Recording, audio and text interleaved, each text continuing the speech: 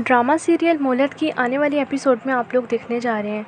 The power ने जब से माहम को बताया कि वो उसे छोड़कर नवेरा से शादी कर लेगा, वो नवेरा के पीछे ही पड़ गई है।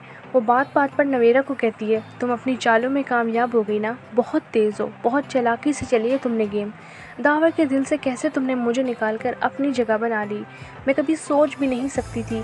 तुम, जिसके मुँह में ज़बान तक नहीं थी, अब ऐसी ज़बान आई है कि वही ज़बान मिठास निकाल रही है और दावर के दिल तक पहुँच गई, जिस पर नवेरा कहती है, हम तुम्हें ज़रूर कोई गलत फहमी हुई है। मैंने ऐसा कुछ भी नहीं किया। मैं तो अभी भी दावर से कह रही हूँ, वो तुम्हें तलाक ना दें। मैं उनसे शादी नहीं करना चाहती, मगर दावर मजबूर है और अम्मी भी अब यही चाहती हैं। जिस पर माहम करी ओह ग्रेट! तो क्या बात है तुम्हारी? इतने में दावर जब वहाँ पर आता है, वो महाम और नवेरा की बातें सुन लेता है। वो महाम से कहता है, तुम्हें किसने ये हक दिया कि तुम मेरी होने वाली बीवी के साथ ऐसे बातें करो? जिस पर माहम कहती है ओह दावर तो अब तुम ये भी कहोगे मुझे you are watching super entertainment.